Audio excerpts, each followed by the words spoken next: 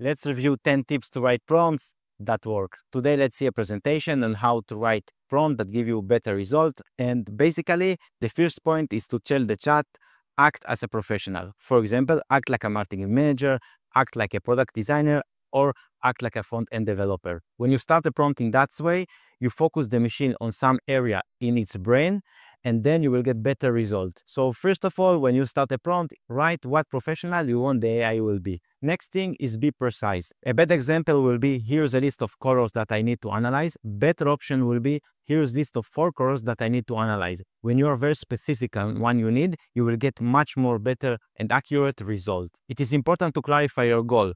Don't write something like, tell me something about design. It will be much better to write, describe the key principle of user-centered design because it, you explain exactly what you want from the machine to do. By the way, in this presentation, you will see that I repeat again and again to be precise because it's very important to be precise with the AI and doesn't matter what tool you use, ChatGPT or Claude, to get very good results. Next, be direct and clear. For example, don't write something very vague from what the interactive function of white space in the domain of UX user experience, be focused. Write something like, what is the function of white space in UX design? You see, also you understand it better. You can add a prompt instructional guide. For example, design a landing page for fitness app. Make it simple. Include clear call to action. Set a clear visual hierarchy. You see, you explain exactly what you want the AI will do.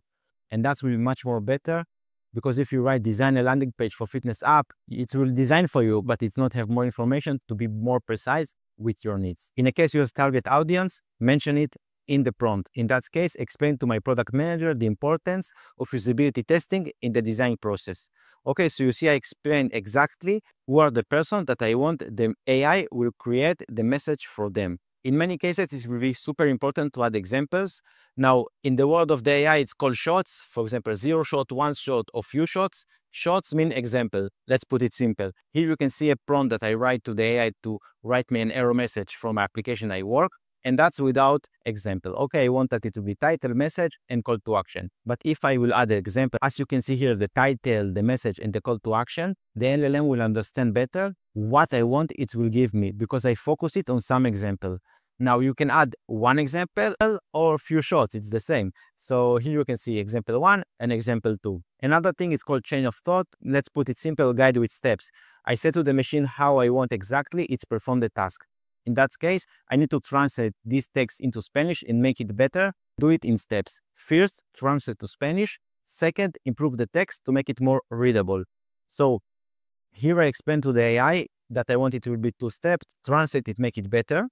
Of course, this is very simple example only to demonstrate for you, but basically it can be more complex and with more steps. Now I want to say one thing, with the new type of reasoning model, this chain of thought, it will be less and less important.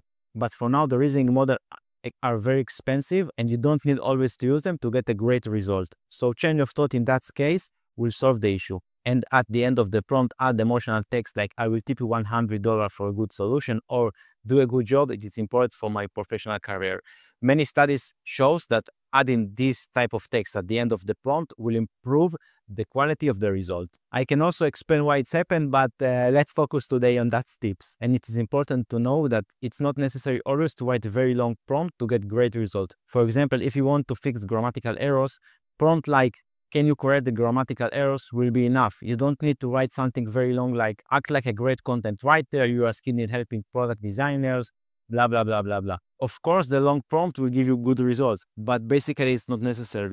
I show you now 10 tips, but you don't need to use all of them to create great prompts. You can think about it like uh, cooking in the kitchen. You have a lot of spices in the kitchen, but you don't use all of them to make every dish. Let's take a look about one prompt that I added many of these tips inside so you can see how it's look. Here is the prompt and before you ask, the prompt and the presentation will be in the description. And uh, hit subscribe now. Here I explain that I want that you will act as a professional product designer. I explain the audience that are product designer and the objective is to help them to brainstorm. Below I add guides and instruction. Below I add an example on how I want it will respond me. And at the end, information about my specific case. What is the product, what I need to design, the user, etc, etc. So these are the 10 tips to write great prompts. If you have more tips, write them in the comment. If you have questions, write them in the comments. I will answer you. And as I always said, if you want that I will make a tutorial on specific topic, again, in the comments. That's all for today. If you're the product designer or training about AI and product design, contact me.